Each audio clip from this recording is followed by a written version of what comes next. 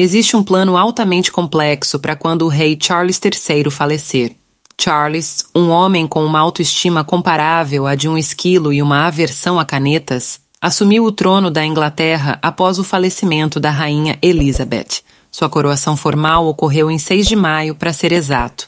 No entanto, dado que Charles tem 74 anos, ainda que esteja em boa saúde, é praticamente inevitável que testemunharemos seu filho, o príncipe William, tornar-se o próximo rei da Inglaterra em nossa geração. E o que é curioso é que existe um plano minucioso para quando esse momento chegar, conhecido pelo codinome Operação Ponte Menai, em homenagem a uma ponte no país de Gales. Vamos torcer para que esse plano não precise ser posto em prática tão cedo. Eis o que sabemos. A operação que trata da morte do rei Charles é chamada de Operação Ponte Menai, e ela também se relaciona com os preparativos para o funeral de Estado. O nome é uma homenagem à Ponte Menai, uma ponte suspensa no país de Gales. Na série The Crown, há uma cena que faz referência a isso, quando a secretária da rainha menciona os planos de contingência para a família real, incluindo a Operação Ponte Menai para o príncipe de Gales. Portanto, esses planos estão em vigor há um bom tempo. Embora os detalhes da operação sejam confidenciais, podemos basear nossa compreensão em duas fontes.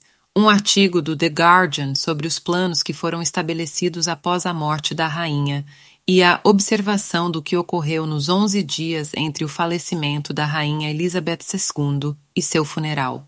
No dia em que o rei falecer, uma série de ações serão postas em prática. Os preparativos para o funeral de Carlos já estão sendo planejados desde que ele ascendeu ao trono, de acordo com Simon Morgan, um ex-oficial de proteção real.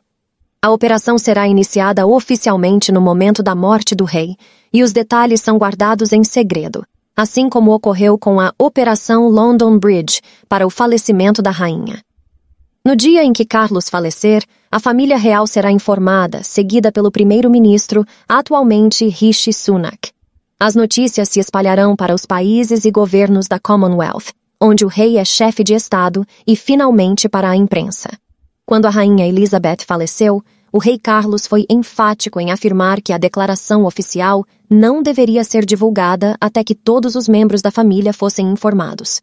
Independentemente da ordem das revelações, uma nota será afixada nos portões do Palácio de Buckingham quando o rei falecer, e as bandeiras serão hasteadas a meio mastro, como ocorreu quando a rainha faleceu.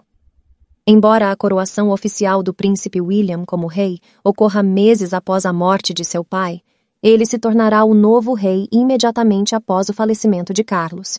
Provavelmente ele fará um discurso à nação no mesmo dia e começará a interagir com autoridades governamentais.